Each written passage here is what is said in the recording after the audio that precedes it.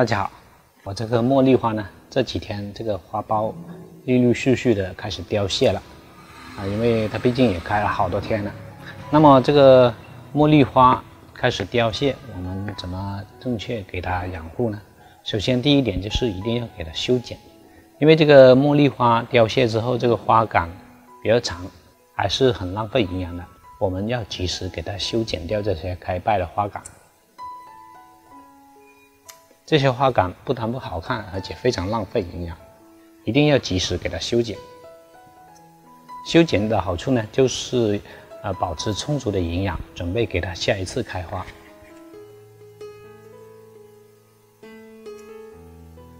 还有这些过长的也要给它修剪掉。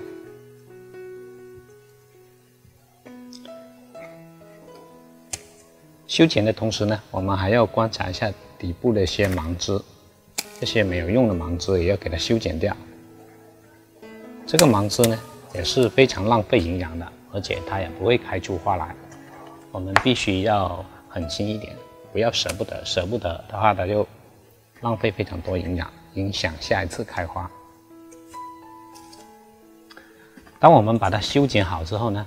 啊，接下来呢就是给它促使第二次开花了，但是这个促使开花呢还要过个十天八天这样子再给它进行促使开花。好了，今天就跟大家分享这个茉莉花这个花败之后该怎么正确处理，下一次跟大家分享怎么给这个茉莉花促使它第二次开花，让它开花更加多。好了，今天就跟大家分享到这里了，我们下期再见。